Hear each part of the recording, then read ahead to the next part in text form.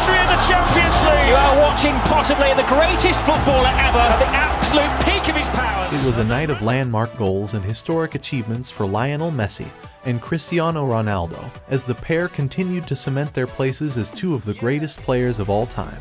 In the Argentine capital of Buenos Aires, Messi and his Argentina teammates played on home soil for the first time since their World Cup triumph just over three months ago. They were given a hero's welcome by more than 80,000 delirious fans inside River Plate's iconic Estadio Monumental on a night of celebrations that likely lasted well into the morning. The players were presented with the World Cup trophy, which they paraded around the stadium after a 2-0 friendly win over Panama, as well as shirts embroidered with three gold stars to signify the country's three World Cup triumphs. The players from the squad that won the World Cup in Qatar have all been called up to the national team for these two friendly fixtures against Panama and Curacao to allow them to revel in their moment of glory. By the time kickoff came around, celebrations inside the stadium, which included DJs, bands, fireworks, and an 80,000 strong sing-along, had been ongoing for more than four hours, with the match itself becoming little more than a footnote. It took 78 minutes for Argentina to find the breakthrough against what was largely a Panama reserve team, with Thiago Almada opening the scoring. Then, with just a minute remaining, Messi's moment of glory came as he secured the win with a stunning free kick.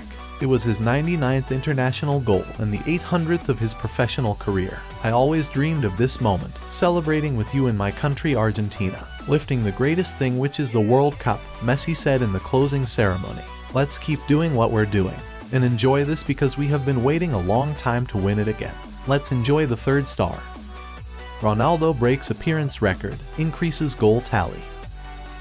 On the same night, Ronaldo broke the men's record for most international appearances as he earned his 197th cap for Portugal in the team's Euro 2024 qualifying win over Liechtenstein.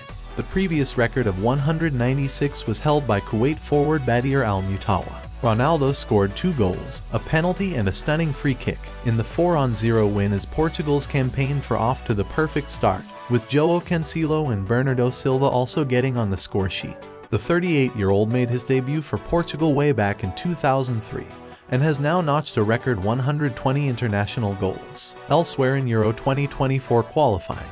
Harry Kane exercised some of the demons from Qatar by scoring a penalty to become England's all-time leading goalscorer with 54 goals, after missing a penalty in the quarter-finals against France, which would have drawn England level and given him the record. Kane said breaking the record from the spot means a lot. Wayne Rooney, who had held the record as England's leading goalscorer since 2015, tweeted, Congratulations to Harry Kane on becoming England's all-time leading goalscorer. I knew it wouldn't take long but that was quick. Great man, unbelievable goalscorer and an England legend. Thanks for watching, and be sure to subscribe our channel and press the bell icon to get notified by our latest videos.